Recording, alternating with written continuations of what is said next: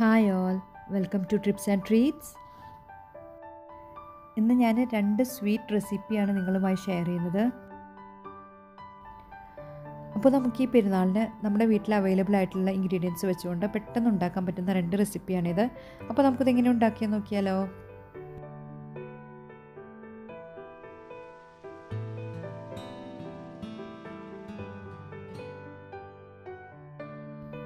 ആദ്യം ഞാനിവിടെ ഉണ്ടാക്കുന്നത് സാഗു കസ്റ്റാർഡ് കീറാണ്. പെട്ടെന്ന് തന്നെ നമുക്കിത് റെഡിയാക്കി എടുക്കാം.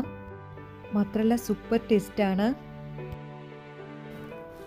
അപ്പോൾ സാഗോ കസ്റ്റാർഡ് കീർ ഉണ്ടാക്കാൻ വേണ്ടി ഞാനിവിടെ സോസ് പാൻ എടുത്ത് വെച്ചിട്ടുണ്ട്. ഇനി അതിലേക്ക് ഞാൻ ഒന്നര കപ്പ് പാലാണ് ചേർത്ത് കൊടുക്കുന്നത്. ഫ്ലെയിം ഓണാക്കി ലോ ടു മീഡിയം ഫ്ലെയിമിലാണ് കേട്ടോ വെച്ചിട്ടുള്ളത്. ഇനി അതിലേക്ക് അരക്കപ്പ് സാഗോ സീഡ് സബൂനരിയാണ് ചേർത്ത് കൊടുക്കുന്നത്. ഞാൻ കുറച്ച് നേരം വെള്ളത്തിൽ കുതിർത്തിട്ട് വെച്ചിരുന്നതാണ്. അത് സ്ട്രെയിൻ ചെയ്തിട്ട് ചേർത്ത് കൊടുക്കുകയാണ് ഇനി ഇതൊന്ന് മിക്സ് ചെയ്തെടുത്തതിന് ശേഷം ഇതൊന്ന് കുക്കായി വരുന്നവരെ നമുക്ക് വെയിറ്റ് ചെയ്യാം. നമ്മൾ ചെറിയ ഫ്ലെയിമിൽ ഇട്ടിട്ടാണ് കേട്ടോ കുക്ക് ചെയ്തെടുക്കേണ്ടത്. മാത്രമല്ല ഇത് നമ്മൾ ഇടയ്ക്കിടയ്ക്കായിട്ട് ഇളക്കി കൊടുക്കാൻ വേണം. ഇപ്പോൾ സാബൂനരി ഇങ്ങനെ വെന്ത് തുടങ്ങിയിട്ടുണ്ട്. ഇനി ഈ ടൈമിൽ ഞാൻ മധുരത്തിന് ആവശ്യമായ കണ്ടൻസ് മിൽക്ക് അര ടീൻ ചേർത്ത് കൊടുക്കുന്നുണ്ട്. പഞ്ചസാരയോ കണ്ടൻസ് മിൽക്കോ ചേർത്ത് കൊടുക്കാം. ഇനി ഒന്ന് മിക്സ് ചെയ്തെടുത്തതിന് ശേഷം കാൽ കപ്പ് സേമിയ ചേർത്ത് കൊടുക്കാം. അപ്പോൾ നമ്മൾ കൂടുതൽ എടുക്കേണ്ടത് സാബുനരിയാണ്. അതിൽ കുറച്ചാണ് സേമിയ എടുക്കേണ്ടത്. എന്ന് പറയുമ്പം ഒരു കപ്പ് സാബുനരി എടുക്കുന്നുണ്ടെങ്കിൽ അരക്കപ്പ് മതി സേമിയ കേട്ടോ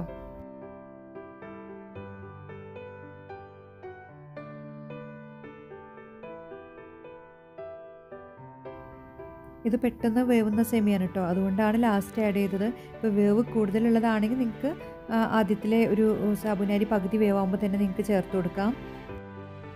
ഇനി കുറച്ച് സാഫ്രൺ ചേർത്ത് കൊടുക്കുന്നുണ്ട്. അത് ഓപ്ഷണലാണ് വേണമെങ്കിൽ മാത്രം ചേർത്ത് കൊടുത്താൽ മതി. ഇനി ഒരു കാൽ കപ്പ് പാലിൽ ഞാനൊരു മൂന്ന് ടീസ്പൂൺ കസ്റ്റാർഡ് പൗഡർ മിക്സ് ചെയ്ത് ചേർത്ത് കൊടുക്കുന്നുണ്ട്.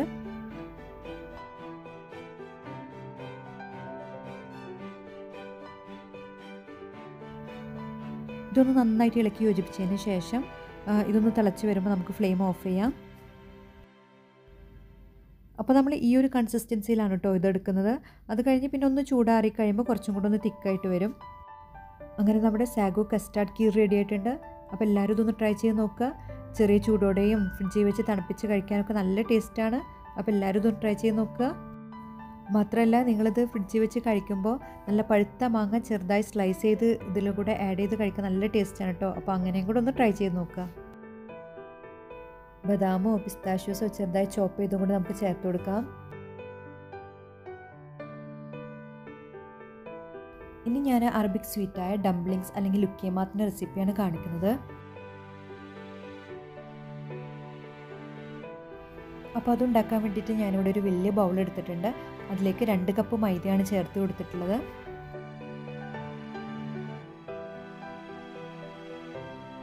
ഇനി അതിലേക്ക് രണ്ട് ടേബിൾ സ്പൂൺ കോൺഫ്ലോർ ഒരു ടീസ്പൂൺ പഞ്ചസാര ഒരു ടീസ്പൂൺ ഈസ്റ്റ് ഒരു നുള്ള ഉപ്പും കൂടെ ചേർത്ത് കൊടുക്കാം.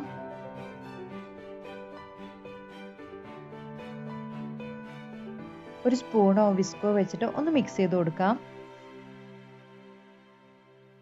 ഇനി നമുക്ക് രണ്ട് ടേബിൾ സ്പൂൺ തൈരും ഒരു ടേബിൾ സ്പൂൺ ഓയിലോ അല്ലെങ്കിൽ ഗീയോ ചേർത്ത് കൊടുത്ത് ഒന്നും കൂടെ ഒന്ന് മിക്സ് ചെയ്ത് കൊടുക്കാം. ഇനി നമ്മൾ ഇളം ചൂടുവെള്ളമാണ് ചേർത്ത് കൊടുക്കുന്നത്. കൈവച്ചിട്ട് തിരുമ്മി കൊടുക്കാം. ഞാനിവിടെ വിസ്ക് വെച്ചിട്ടാണ് ചെയ്യുന്നത്. കൈവച്ചിട്ട് കട്ടിയൊന്നുമില്ലാതെ ലംസൊക്കെ ഉടച്ചെടുത്താൽ മതി. നിങ്ങൾക്ക് ഏതാണ് എളുപ്പമെന്ന് വെച്ചാൽ അങ്ങനെ ചെയ്താൽ മതി. ഞാനിവിടെ വിസ്ക് വെച്ചിട്ടാണ് ചെയ്ത് കൊടുത്തിട്ടുള്ളത്. നിങ്ങൾക്ക് വേണമെങ്കിൽ കൈവച്ച് ചെയ്യാം. പിന്നെ വെള്ളം മൊത്തത്തിലായിട്ട് ആഡ് ചെയ്ത് കൊടുക്കരുത്. കുറച്ച് കുറച്ചായിട്ട് ആണ് ചേർത്ത് കൊടുക്കേണ്ടത്. അര മുതൽ ഒരു കപ്പ് വെള്ളം വരെ നോക്കിയിട്ട് ചേർത്ത് കൊടുക്കാം കേട്ടോ അപ്പോൾ ഇതാണ് ഇതിന്റെ ബാറ്ററിന്റെ ഒരു കൺസിസ്റ്റൻസി ഇനി നമുക്കിതൊന്ന് റെസ്റ്റ് ചെയ്യാനായിട്ട് ഒരു രണ്ട് മണിക്കൂർ നേരം ഇതൊന്ന് കവർ ചെയ്ത് വെക്കാം. ഞാൻ ഒരു ക്ലിങ് ഫിലിം ഉപയോഗിച്ചിട്ട് ഒന്ന് കവർ ചെയ്ത് വെക്കുന്നുണ്ട്. കുറച്ച് ചൂടുള്ള സ്ഥലത്ത് വെക്കുകയാണെങ്കിൽ പെട്ടെന്ന് തന്നെ പൊങ്ങി വരും. അല്ലെങ്കിൽ കുറച്ച് ടൈം എടുക്കും കേട്ടോ ഇപ്പോൾ ഇതാ രണ്ട് മണിക്കൂർ കഴിഞ്ഞപ്പോൾ പൊങ്ങി വന്നിട്ടുണ്ട്. ഇനി ഞാൻ ഒന്നും കൂടെ വിസ്ക് വെച്ചിട്ട് ഒന്നും കൂടെ ഒന്ന് മിക്സ് ചെയ്ത് കൊടുക്കുകയാണ്. ഇനി ചെറിയ ചെറിയ ബോൾസ് ആക്കിയിട്ട് വെജിറ്റബിൾ ഓയിലാണ് നമ്മളിത് ഫ്രൈ ചെയ്തെടുക്കുന്നത്. അപ്പോൾ നമ്മളിത് ഫ്രൈ ചെയ്യുമ്പോൾ ശ്രദ്ധിക്കേണ്ട കാര്യം എന്താണെന്ന് വെച്ചാൽ മൈദ ആയതുകൊണ്ട് തന്നെ നമ്മളെ കയ്യിൽ നിന്ന് ബാറ്ററി വിട്ട് വരില്ല. അപ്പോൾ നമ്മൾ ആദ്യം തണുത്ത വെള്ളത്തിലൊന്ന് നമ്മുടെ കൈയൊന്ന് മുക്കിയെടുത്തതിന് ശേഷം ആണ് നമ്മൾ ചെറിയ ചെറിയ ഇതുപോലെ ബോൾസ് ആക്കിയിട്ട് നമ്മൾ ഓയിലിലേക്ക് ഇടേണ്ടത്. അങ്ങനെ ചെയ്യുമ്പോൾ നമ്മുടെ കയ്യിൽ നിന്ന് പെട്ടെന്ന് വിട്ടു വരും കേട്ടോ ഒരു സൈഡ് കുക്കായി വന്നാൽ നമുക്ക് ഫ്ലിപ്പ് ചെയ്ത് കൊടുത്ത് മറ്റേ സൈഡും അതുപോലെ തന്നെ എടുക്കാം.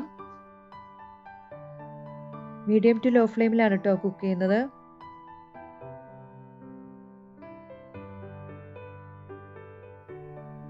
ഇപ്പോൾ നമ്മുടെ കീമാത്ത് റെഡി ആയിട്ടുണ്ട്. ഇനി നമുക്കിത് വറുത്ത് കോരാം. ഗോൾഡൻ ബ്രൗൺ കളറായി വന്നിട്ടുണ്ട്. ഇപ്പോൾ നമ്മുടെ ഡംപ്ലിങ്സ് റെഡി ആയിട്ടുണ്ട്. ഇത് ഷുഗർ സിറപ്പിന്റെ കൂടെയോ അല്ലെങ്കിൽ ഡേറ്റ് സിറപ്പിന്റെ കൂടെയോ സെർവ് ചെയ്യാം കേട്ടോ നമ്മളിവിടെ ഡേറ്റ് സിറപ്പിന്റെ കൂടെയാണ് കേട്ടോ കഴിക്കുന്നത്. ഇനി നിങ്ങളുടെ കയ്യിൽ ഡേറ്റ് സിറപ്പ് ഇല്ലെങ്കിൽ നിങ്ങൾ തേനിന്റെ കൂടെ ഒന്ന് കഴിച്ചു നോക്കൂ കേട്ടോ ഹണിയുടെ കൂടെ കഴിക്കാൻ നല്ല ടേസ്റ്റാണ്. എനിക്ക് ഷുഗർ സിറപ്പിനേക്കാളും ഇഷ്ടം തേനിന്റെ കൂടെ കഴിക്കാനാണ്. അപ്പോൾ അങ്ങനെ കഴിക്കാത്തവരുണ്ടെങ്കിൽ ഒന്ന് കഴിച്ചു നോക്കൂ കേട്ടോ അപ്പോൾ എല്ലാവർക്കും എന്റെ ഈ പെരുന്നാളിന്റെ രണ്ട് ചെറിയ സ്വീറ്റ് റെസിപ്പീസ് ഇഷ്ടമായെന്ന് വിചാരിക്കുന്നു. ഇഷ്ടപ്പെട്ടാൽ ലൈക്ക് ചെയ്യാനും ഷെയർ ചെയ്യാനും മറക്കരുത്. നിങ്ങൾ എന്റെ ചാനൽ ആദ്യമായിട്ടാണ് കാണുന്നതെങ്കിൽ സബ്സ്ക്രൈബ് ചെയ്ത് സപ്പോർട്ട് ചെയ്യണേ. താങ്ക്സ് ഫോർ വാച്ചിങ് എല്ലാവർക്കും എന്റെ ഈദ് ആശംസകൾ. All take care and bye